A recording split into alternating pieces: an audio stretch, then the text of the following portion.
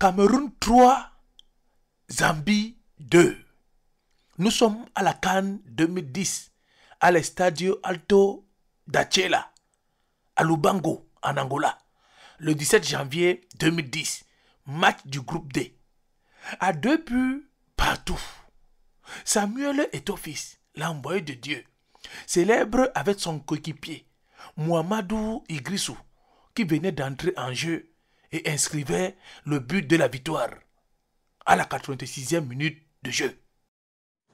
Abonnez-vous sur notre page YouTube La Tanière du Lion, sur Instagram La Tanière du Lion, sur Twitter La Tanière du Lion et sur Facebook La Tanière du Lion pour ne rater aucune de nos prochaines vidéos. Merci.